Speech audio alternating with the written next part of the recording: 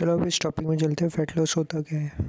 अब fat loss में ये जो बबल्स आप देख रहे हैं ना, पेट के जो बाहर है टर्मिस के साइड में होते हैं यही बबल्स होते हैं, जिसमें फ़ैट स्टोर होता है। ये लाइक स्पंज है। स्पंज में जैसे जैसे पानी डालते जाता है, वैसे वैसे उसका साइज़ बढ़ता जाता है, भारी होता जाता है।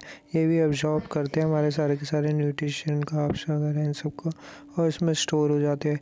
धीरे धीरे करके ये फ़ैट यूज़ भी होता है हमारी बॉडी में। हम वॉकिंग करते हैं एक्सरसाइज करते हैं, जो भी वर्क करते हैं, उसमें फ़ैट धीरे धीरे लूज़ होता रहता है तो एक कंटिन्यू बढ़ता रहता है, बढ़ता रहता है, बढ़ता बढ़ता रहता रहता है।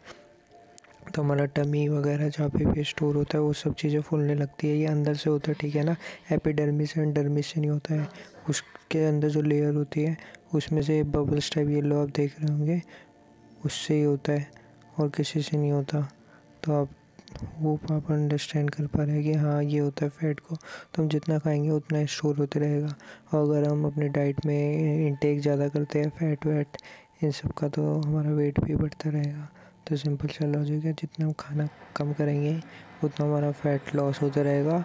एंड इसके साथ अगर हम external exercise like cycling walking jogging skipping करेंगे तो और डाइट भी कम करेंगे तो हमारा कैलोरीज इनटेक कम होगा और ये जो बबल्स है, जो आप देख सकते हैं येलो येलो ये मैक्सिमम लेवल पे यूज़ होंगे, जिसकी वजह से हमारा फैट श्रिंक हो जाएगा और आखिरी पॉइंट पे आ जाएँगे, एकदम स्लिम पे, ठीक है?